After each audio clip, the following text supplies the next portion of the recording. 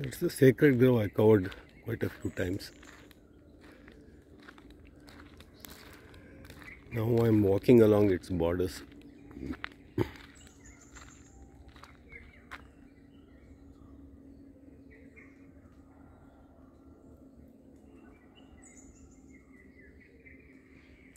Lot of trees have started flowering, and then uh, whenever I I get a good specimen where the flowers are low enough, then I do my videos of them. This is a tree that's called uh, bogi in our local Kannada and uh, Tulnad. The very fine hardwoods with uh, small leaves, very pretty leaves, and flowers have started, but they are high up.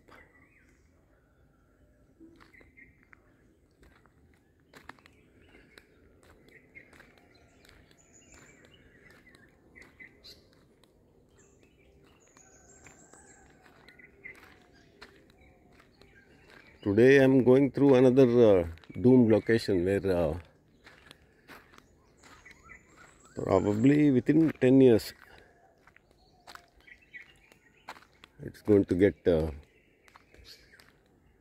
become the city and city has en- engulfed this place.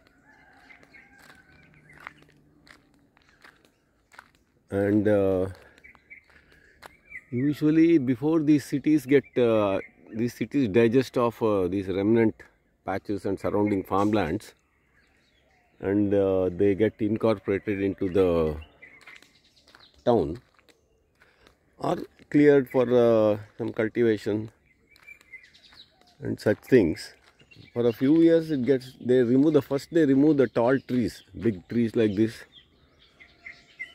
This is that artocarpus uh, another jackfruit tree species. So this type of trees and all they will cut and sell first. Then they let it be for a few years. And then that next stage happens. Once they stop farming they clear the tree old trees on the side and all that. If it is a kind of virgin area clear clear everything and start the whatever the crop and in urban spaces as the land gets very valuable and uh, labor shortage and all happens these uh, farms get abandoned some part. Then uh, in that period some smaller items and all will survive. So this is one such place. This is actually old farmland. Some people some farmers are there farmers means they've all now become rich uh, because their land value has become so much. And then uh, this is one of those neglected places. So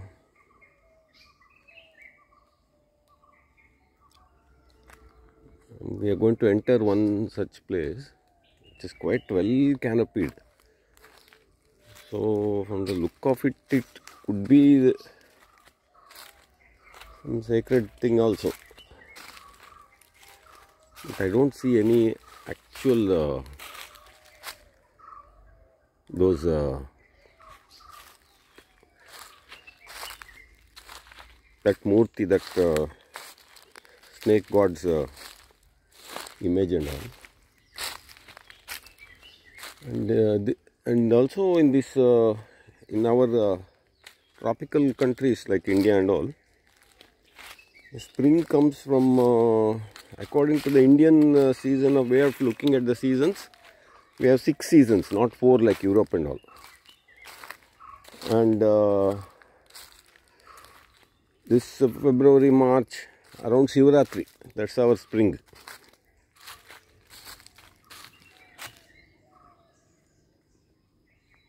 So this time is this period is very nice in the forests and forested areas because the this pothos is uh, it's a tremendous plant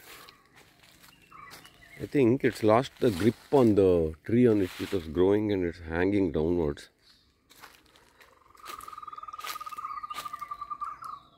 once the plant becomes mature, it gets this type of leaf formation. Gets a double shape. And then it has red fruits also, which these uh, birds like, and it's a good uh, garden plant and uh, very versatile. It can climb onto walls, trees. Here, this tree has been, uh, I think, cut a bit, so it has come to the top and then it is hanging downwards in a very nice way. And on that tree, it's climbing up. So anyway, coming back to today's topic. So the in the spring season, what is now going on here? Many of the deciduous tree species and all they drop their leaves, and then the new shoots start coming up because we will be approaching a very hot, dry summer also. And also a lot of uh, trees and shrubs start flowering. They wait for the monsoon to completely end and then they do their flowering. And uh, this understory where there is some shade and uh, some some uh, kind of a scattered sunlight penetrates. This is one such place. A lot of trees are there. Not very old trees or anything but still decent sized trees. And uh, some speckled sunlight comes. And in this kind of location many members of this coffee family are living. That coffee family is quite big. They have certain uh, common features. Like uh, the shape of the leaves and all that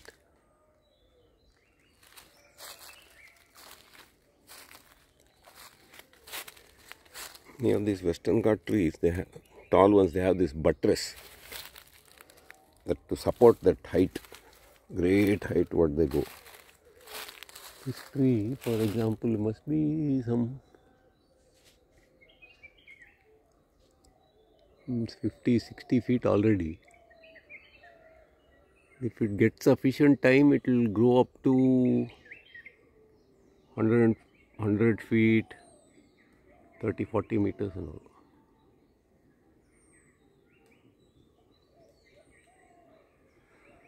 So in this uh, shaded areas, these uh, coffee plant uh, family members, quite a few are living. And then that entire uh, group of plants called Ixoras are, they belong to that coffee family. Then uh, they're one branch of that coffee family. Then there's another group called Psychotria that has all these uh, kind of powerful chemicals and all that. Just like coffee, coffee also has many chemicals in it. Some thousand chemicals are there, it seems. Alkaloids and all kind of things. That's what makes coffee such a powerful medicine also. Then uh, in this kind of location these uh, some of the members of the Ixora family are also there very nice ones and our western Ghats has its own uh, few endemic uh, Ixoras that are found nowhere else in the world but in India in the western Ghats and uh, this Ixora brachiata what I am going to show now that is one of those endemic uh, species.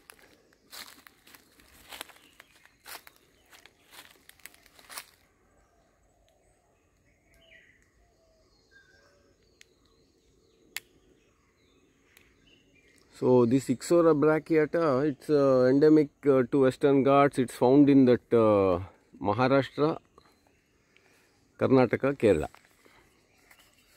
And in uh, properly, in well shaded, uh, moist, evergreen forest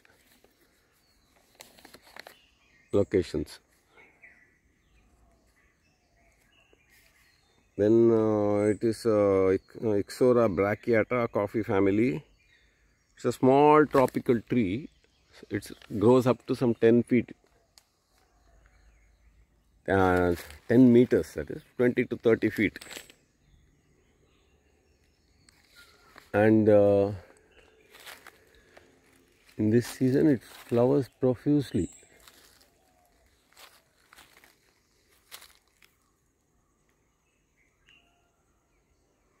This uh, Ixora brachiata is a common name is Western Ghats uh, Ixora. So, because it's endemic of this region, and then uh, I I never seen this in any of the garden and all. It has not got into garden uh, trade. It's not probably not showy enough for them and then uh, in all probability from the look of it i don't think it will survive in other zones. You have to use plant it in this in its natural zone only.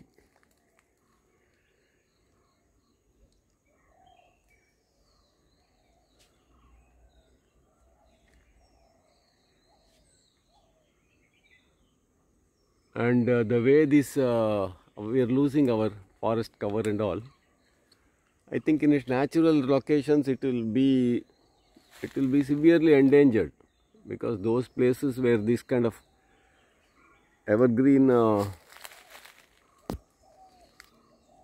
forests are there quite intact and not been cleared such places have become very rare. And uh, the only hope for these species is uh, if they get taken into gardens that's the reason I started covering all these uh, plants which uh, need shelter in our gardens. Unless we take the trouble to acquire them and grow them, in a generation to two, it, you will never find these. They are on the verge of disappearing.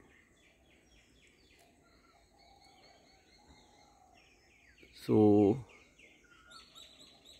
these are the for the advanced gardeners who are tired of this exotic and meaningless gardening.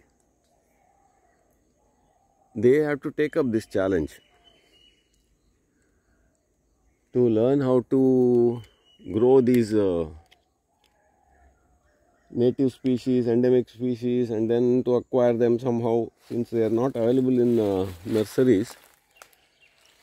Even if you like a plant and you are ready, you will not get the specimens which can be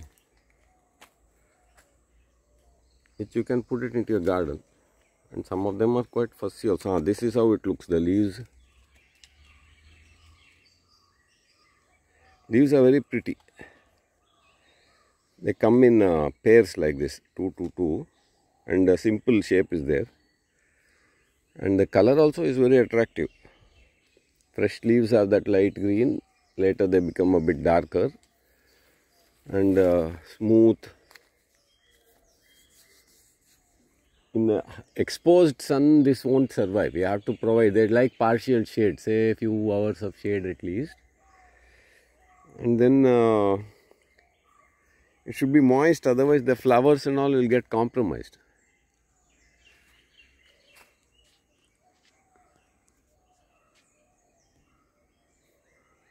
and now we'll have a look at the close up of the flowers. Hmm. they're very attractive but uh, tiny.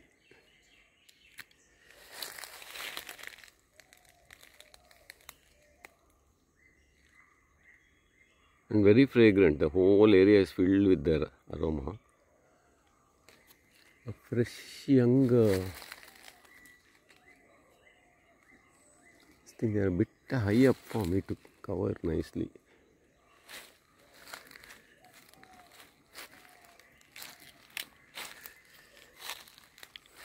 I can have to climb a little bit onto the tree.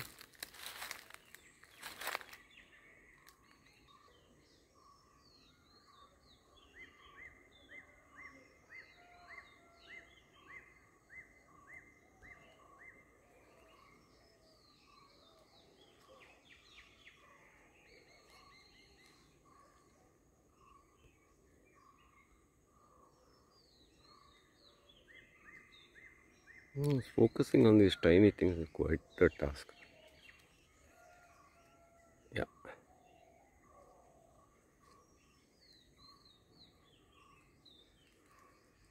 So it's very tiny. You can see in the in my Facebook page uh, good uh, photos. Ah, now it's clear.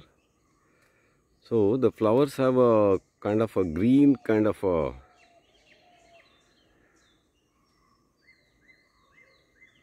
the main flower is white. Then uh, that's how it looks. It's very attractive. That uh, there's a petals are kind of light green almost. Petal or the inner part of the flower. Then it has small red uh, berries it seems which birds are eating. It's a really beautiful thing only thing is you have to go close up and uh, see them. That whole shape and all. And also the, the tiny that's what makes them uh, hard to appreciate. But the beautiful aroma and then uh, that reddish uh, tender buds and uh, small and perfect shape. All that makes it very attractive. And uh, like if it is well watered and all in a garden i'm sure the flowers will be profuse. This place is a, is a quite a good location since uh, on three directions uh, there is a full canopy. It has flowered well and earlier when i saw in a little more hostile uh, location the flowers are less and more droopy and all so in uh, in this west coast, western Ghats region and moist places and all, with little care, I think it will survive. And uh, look at it closely, they really is marvelously beautiful. So that's how it looks. I try to show the bark also.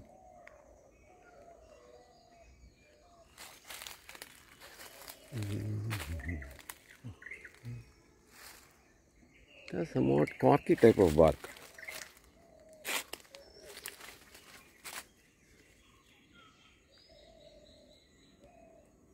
That's the bark.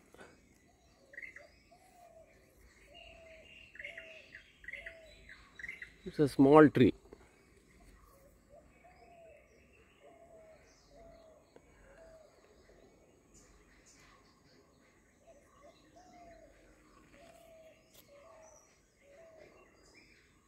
Yeah. That's how the bark looks and this one could be quite an old tree seeing the girth and all it may be 20 30 years old and all and uh,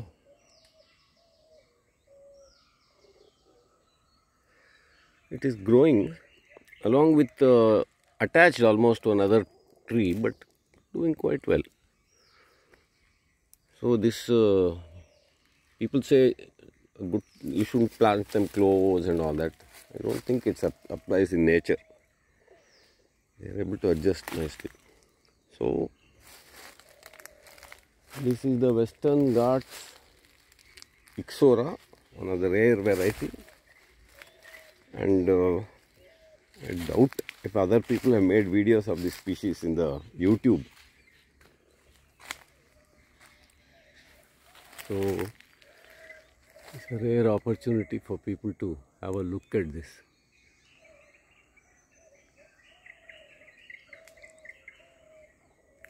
That's how the tender uh, buds look very beautiful.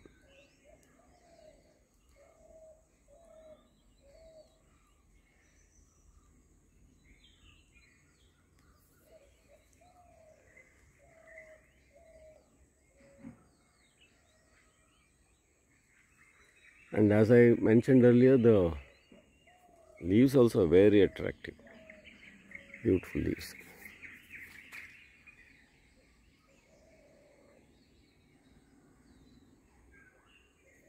So that is today's long and probably very boring video for most people.